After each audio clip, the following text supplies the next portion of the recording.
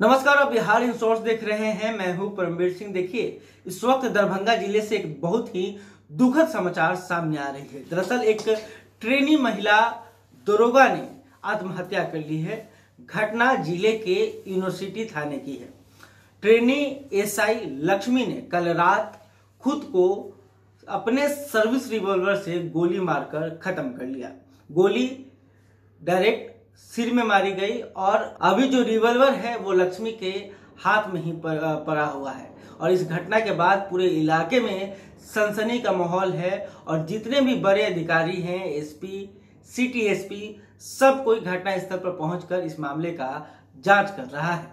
बताया जा रहा है कि कल रात 12 बजे से लेकर 2 बजे के बीच की यह घटना है और घटना का कारण क्या है, इसको मालूम करने के लिए पुलिस हर मामले की जाँच कर रही है। इसके साथ ही जो महिला प्रशिक्षित जिस घर में रहती थी, उस घर को पूरे बारीकी के साथ तलाशा जा रहा है कि कोई सुसाइड नोट मिल सके, जिसके कारण आत्महत्या किस वजह से हुआ है, इस बात का खुलासा हो। बताया जा रहा है कि लक्ष्मी ने 2018 में बिहार पुलिस को ज्वाइन किया था। उन्हें दरोगा का पद मिला था, अभी दरोगा का वो ट्रेनिंग कर रही थी। दरभंगा के यूनिवर्सिटी थाने में उनकी तैनाती थी, जहाँ पर वो दरोगा की ट्रेनिंग ले रही थी। लेकिन ऐसा क्या हुआ कि लक्ष्मी को खुद को खत्म करना पड़ा? इस मामले की बहुत ही बड़े स्तर पर जाँच की ज़रूरत है, और लोग भी यही जानना चाहते हैं कि आखिर 25 वर्षीय लक्ष्मी को किस बात से दिक्कत था, जिस वजह से उसे अपनी ज़िंदगी को खत्म करना पड़ा। घटना की जानकारी पुलिस ने तुरंत परिजनों के दी।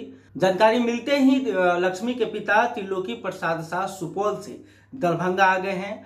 वहीं जो शव है शव को पोस्टमार्टम के करने के लिए दरभंगा सदर अस्पताल में भेज दिया गया है और पूरे मामले की जाँच की जा रही है। इसके साथ ही जो सिटी एसपी हैं, अशोक प्रसाद वो घटना स्थल पर पहुँचे हैं और खुद इस मामले की जाँच कर रहे हैं। अशोक प्रसाद ने मीडिया से बात करते हुए यह जानकारी दी कि हम सिर्फ़ आत्महत्या के बिंदु पर ही इस मामले की जाँच नहीं कर रहे हैं, बल्कि और भी एंगल से इस मामले का जाँच किया जाएगा कि ताकि आत्महत्या है या फिर हत्या, इस बात की भी पुष्टि होनी ज़रूरी है और सभी को पोस्टमार्टम रिपोर्ट का इंतज़ार है। इसके साथ ही अशोक प्रसाद ने यह भी बताया कि आत्महत्या के बाद जो रिवॉल्वर है, वो लक्ष्मी के दाहिने हाथ में पाया गया है।